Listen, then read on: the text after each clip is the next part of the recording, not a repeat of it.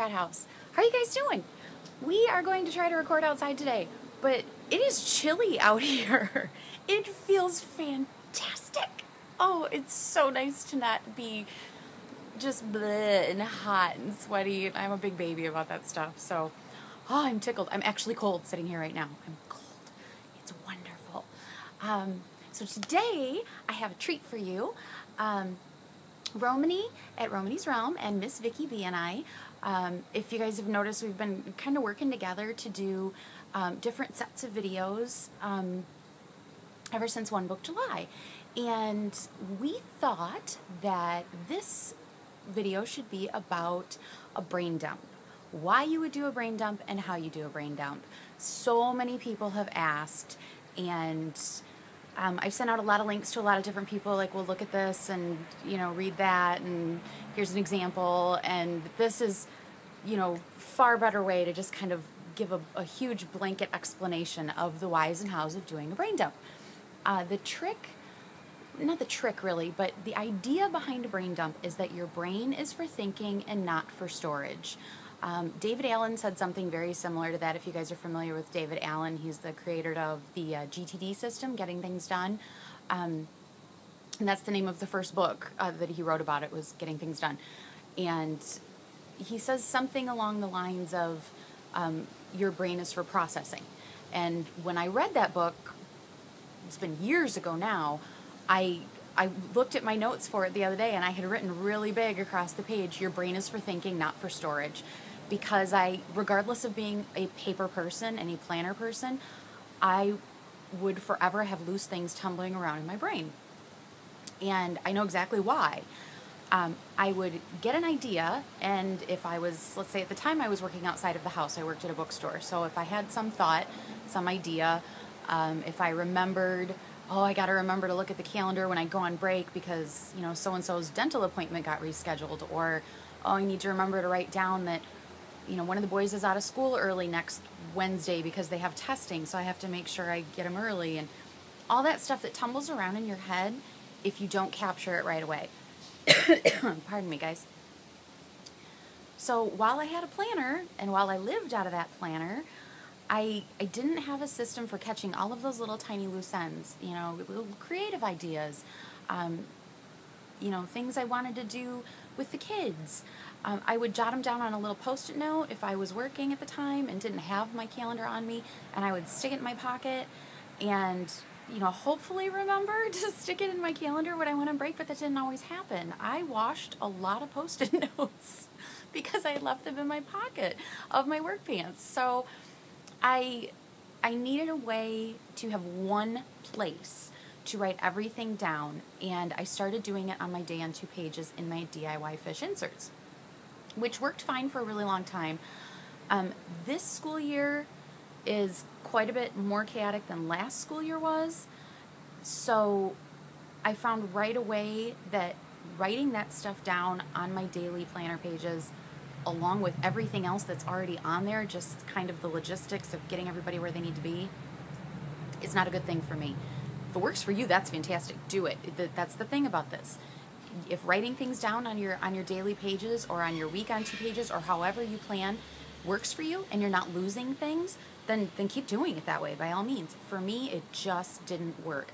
I, I have this constant struggle with making sure that my stuff doesn't get lost in the shuffle of everybody else's stuff.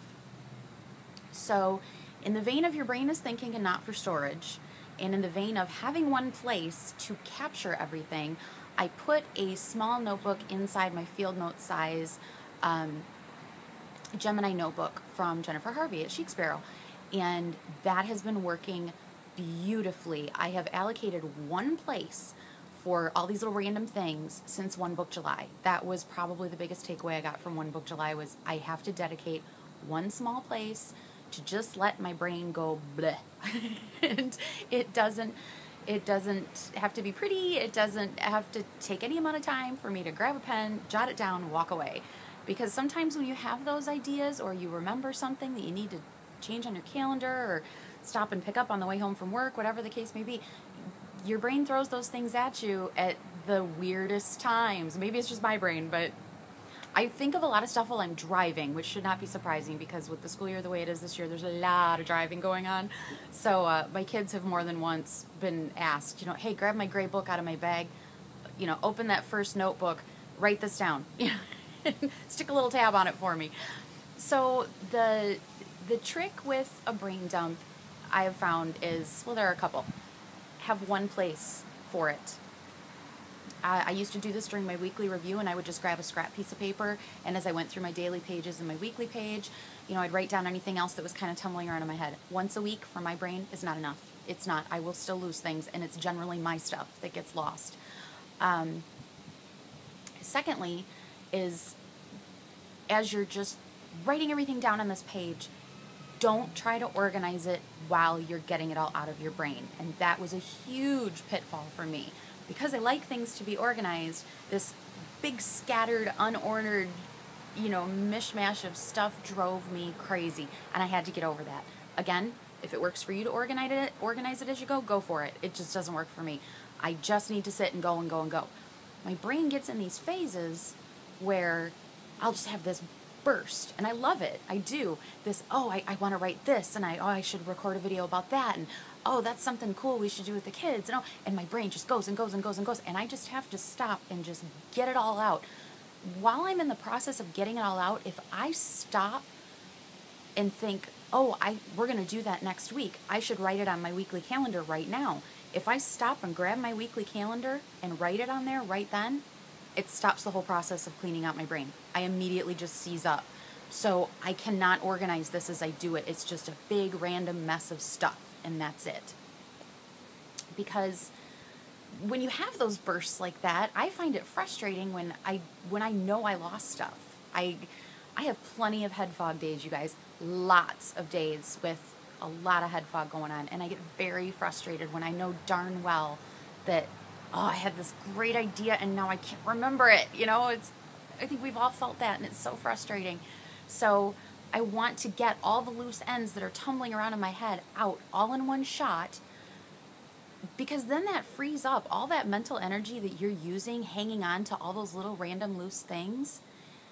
You get all of them out, and your brain isn't putting energy into storing them and hanging on to them anymore. And that's energy that you can reallocate to creative endeavors and problem solving and all kinds of things that, you know, if you're not getting that stuff out of your head, you're you're wasting that mental energy on clinging to all those little random things. And that's uh, for all of us it's energy that is far better spent elsewhere. I have to cough again. Pardon me you guys. So so as far as the brain dump goes it's one place to do it. Don't organize it as you go. Um, for me at least it it's a brain dump to me is kind of the opposite of a brainstorming session if I'm going to sit down and you know write out a mind map about a blog post I want to write or a video I want to make, um, or or have a brainstorming session about something you know of that nature, to me that's me trying to populate my brain with ideas. A brain dump is when my brain is already populated with ideas and I need to get them out before I lose them. And I need to get them out so that I can put that mental energy into acting on those ideas rather than just hanging on to them. Okay, does that make sense? Um, and there was something else I wanted to tell you guys. Um, so, one place to do it reallocating the mental energy, don't organize it as you go. Oh, and the last thing, this was a biggie for me. Um, when I had read uh, David Allen's book, Getting Things Done, um, not too long after that, I found his website, and there are several. I will link to a whole bunch of them in the blog post for this video so that I don't blow up the description box. Um, GTD Times is a really good one. Um, there is a list that's called the Incompletion Trigger List. And I had forgotten about this list. I had saved it and forgotten about it. How ironic is that? Um, but it's just this huge list, both personal and professional, of things that rather than me waiting until my brain is going, oh, with all this frenetic activity of all these ideas and trying to remember all this stuff, so then I sit down and do a brain dump in a reactive way, an incompletion trigger list is is a tool to sit down and do a brain dump even though your brain might not feel that way. Okay? So at least once a week, and lately it's been twice a week, I sit down with that list and I go through it. And it's a whole list of, you know, the personal stuff is, you know, do you have obligations to yourself? Do you have, you know, stuff at the house that you want to change or that you need to clean or, um, you know professionally you know what are the what are the things you're waiting on from other people what are things that you need to do that other people are waiting on it's a pretty detailed list and then when i was searching for that i also found a list at a website called um, mungo's adult adhd blog and um, I haven't poked around the rest of the website a whole lot, but there was one post in there about an incompletion trigger list. And I think, at least for my use, it's even more detailed than the original incompletion uh, trigger list that um, Rhomany had posted in her When Frogs Sing class. And it was the same one that I had forgotten about. So I'll put the link for both of those below, um, and they'll also be in the blog post. The idea of not waiting until I know I need to do a brain dump before my brain explodes the difference between that and taking the initiative rather than doing it in a reactive way but doing it in a proactive way and going okay i'm going to take five or ten minutes and i'm going to sit down and just clean house up here and using those incompletion trigger lists has been a huge leap for me mentally as far as feeling creativity okay? I had hit this point part of it was because it was summer where I just was like a blank slate. I could get through the day and keep up with the kids, and that was about it. I, I was just, you know, you guys all know I'm trying to finish this book. I, I had nothing. I had completely nothing. So, making myself sit down and do a brain dump, whether I really felt like I needed it or not, really freed up the mental space in my head for the stuff that I want and need to do, that I need that mental energy to accomplish. So, those are all the biggies that I can think of. Um, I'm sorry for the long intro, but I didn't see the point in like putting it all in a bunch of slides and putting it on the screen and, and all of that good stuff. So I'm going to flip the camera around and show you what my little brain dump book looks like and um, how I go back and organize it after I've done a brain dump. Okay?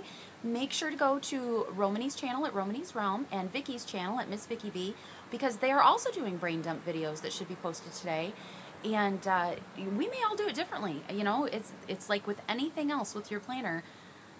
There's no right or wrong. So I'm I'm really interested to see how they do it as well, um, because I don't know. I, I have kind of an idea of how Rhomany does hers, but not not exactly. So I'm uh, the planner nerd in me is all excited. So um, if you guys have questions or comments. Um, go check out the blog post. I'll link to it down in the description. That um, I'm going to embed this video in that post as well. Um, any other information that I have, I'm going to put it all in there so you guys kind of have everything all together in one cohesive place, okay? So I will talk to you soon. I'm actually going to go in the house and warm up before I record the body because I'm cold. It's great.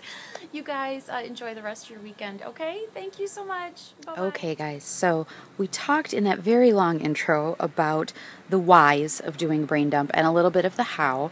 And now I'll show you, um, I'm not going to do a whole brain dump right now just because I just did last night and uh, I don't think it'd be fun for you guys to watch me write all that stuff out.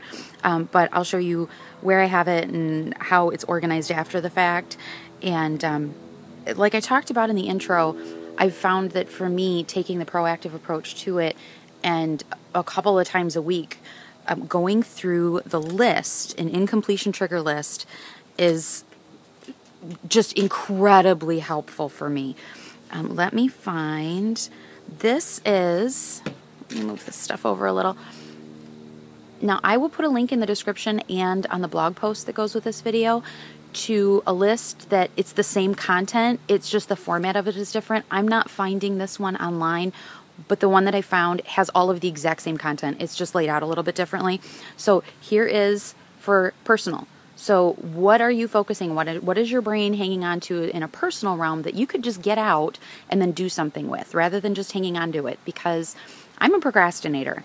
And if I have all kinds of stuff tumbling around in my head and I don't write it down and get it out of my head, for me at least, I'm taking all the mental energy to hold on to that stuff so I don't forget it rather than taking the mental energy to do that stuff. Okay, so here is the personal one, there is the professional one. Okay, and then I will also put a link because I haven't printed it out and put it in here yet um, to the one from uh, Mungo's Adult ADHD blog. That one is very thorough. So that is what I'll do. I'll sit down and open up my list and I usually just start on the personal side because I work from home. A lot of the personal and the professional stuff can kind of, you know, one can kind of run into the other sometimes.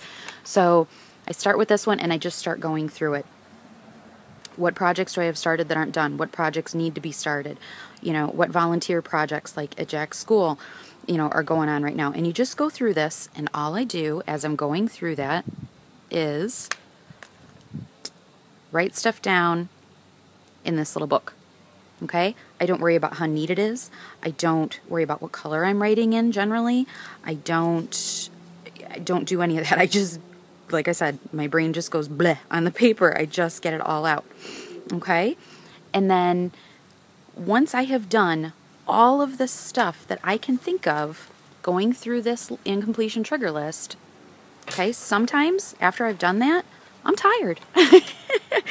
and I just walk away. I just, I know I've got it all written down. I can walk away from it and I'm not going to forget any of it because it's written down. It's not in my head anymore. And then either right then or, you know, 15 minutes from then, or maybe not even till the next day. I go back through and I revisit this. And I go, okay, you know, I need to schedule all of this stuff. I need to um, make this list in my reference notebook. If I have time right then, I go to my reference notebook that's in here and I make that list. When I've done it, I cross it off. That's it. When I've done everything on the page that I need to do, I just mark a big slash through it because I know I'm done with that page. Now, because in here I am working in um, the DIY Fish MTN version 2.2 inserts, I only have one month at a time in here as far as my planner goes. So, like this, I wanted to make sure I got done. It needs to be done by November 30th. This is actually registering for Rhomany's uh, 2015 When Frogs Sing class. I want to remember to put that in there. And at the time I jotted this down, I didn't have the forward planning calendars put in here. I did print out, I showed you guys that in the September setup. Um, so I need to write that down on a green post it because it has to do with money. And I need to stick that onto, I'll show you real quick. My forward planning calendar for November. So I would just stick it on a green post it down here somewhere, and then it's there. That's the calendar I check, you know, third, fourth week of October to start getting November set up. And then it's done. I won't forget it. And then I just go back in here and I cross it out. I don't do any of that stuff while I am making this list. Making this list is all about making this list and not organizing it. I don't do anything else but make this list. Okay? Because if I stop even though all I have to do is go like this and open this book, grab a post it and write it down, my brain will just stop. And I'll know that there were probably 20 other things tumbling around in my head, but because I stopped to organize something, everything else up there ceases. Okay? So a lot of times what I'll do and you'll see all these little tabs, if I've like done a big brain dump and I'm not all the way through the list, I haven't organized everything and, or scheduled it. If it's a, an idea for a video, I need to make a project page for it and I need to schedule it, right? At least roughly, you know, when I want this video done by. And I have to I have to do that carefully, okay? I, I took the time to make the brain dump and write it down. I don't want to then, you know, mess it up by not scheduling it properly, you know. So, first of all, I haven't stopped while I made the list. A lot of times I'll go through this list if I'm, you know, sitting and waiting to pick up one of the kids from school.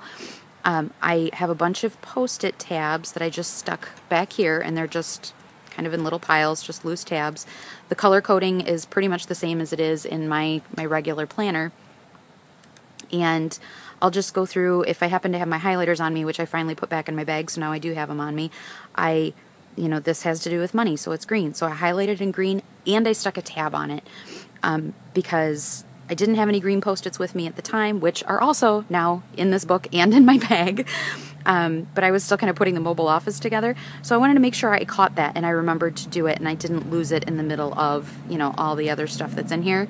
So I highlighted it, stuck a tab on it, moved on. This stuff was all stuff that I had my calendar with me. I could put it in my calendar, so I did that and I crossed it off as I went. You know, this is something that's way down the road. For that, I'll honestly just make a note in Evernote for that. Um, probably set it to remind me like a month before, and then I'll cross it off and be done. But again, that has to do with money, so I tabbed it with green. Anything with the boys um, that I can't schedule, or if I'm waiting on something um, to hear back from someone about, like senior pictures, I tab it with blue. I put their initial on it, and I just highlight it and just leave it alone because if it's something I'm waiting on somebody else to hear back from them or waiting on information for them, um, anything like that, I don't want to lose it. So I, t- I tab it. If it's for one of the boys, like I said, there's so many of them. It's just like the, the blue ink in the planner. I just use a blue tab and I put their initial on it. And that is pretty much it for that. It's pretty basic. Oh, here comes Liam. um, I I just the trick is to get it all out. Uh, be proactive about it. Don't you know? Use one of those incompletion trigger lists. Don't wait until you feel like your head's gonna explode before you you do a brain dump and get it all out. Um, organize it after the fact. Don't stop to organize it and have one place to do it. Because then if you this goes on the nightstand when i go to bed at night. So if i think of something like um, where was it? Um, there's a series that i'm working on down here and i thought of something in the middle of the night that kind of i don't know it made me laugh. It may not make anybody else laugh but i, I thought of this. And so i just jotted it down real quick. The next morning, I was going through this really quick, you know, taking care of some of this stuff about Dakota's wisdom teeth and senior pictures. And I saw that and thought, oh, I need to put that into the project page that goes with this series that I'm writing. Um, but I had to get going. It was time. I had like two minutes before I had to go leave and pick kids up from school. So I just threw a tab on it real quick so that I wouldn't forget it. As I process these things, like um, like this, once I get that note put into Evernote real quick, I'll just take this tab off. I'll cross that out. I'll stick the green tab back in here to use for something else. It's crossed out, it's over with. Um, ideas for stuff like this, um, stuff that's a project as far as um, writing or a video, anything like that. I I have set up further back here how I handle those, and Rhomany and Vicky and I are all going to do two videos in November. I believe it's two videos um, in November about project planning, you know, project tracking, anything like that to do with projects. Um, but I have all of that stuff in this one book. So as I'm processing this stuff, it's all either going to go in here or it's going to go in here. Okay, so out of the brain dump book, it's okay, bud. You know, I have my blog and, and video planning calendars. Um, these are all the details about those things. That's my time tracking. It's okay, baby. So, as you can hear, Liam is not happy. but that is pretty much it about a brain dump. Um, I will put everything in the blog post. So if you don't feel like rewatching and you want a little more clarity or you feel you missed something, by all means, go read the blog post as well. And go check out Rhomany's and videos, Vicky, uh, and Vicky's videos as well. Um, because they may do this completely differently than I do. Um, that's that's the nature of this stuff, right? There's no right or wrong way to do it. It's it's a question of freeing up your mind so that you can use the energy that you're kind of wasting hanging on to things and put it into more creative endeavors. Okay? You guys give me a holler if you have questions or comments or any of that good stuff. And we're going to go in the house and warm up again. I'll talk to you guys soon, okay? Thanks. Bye bye.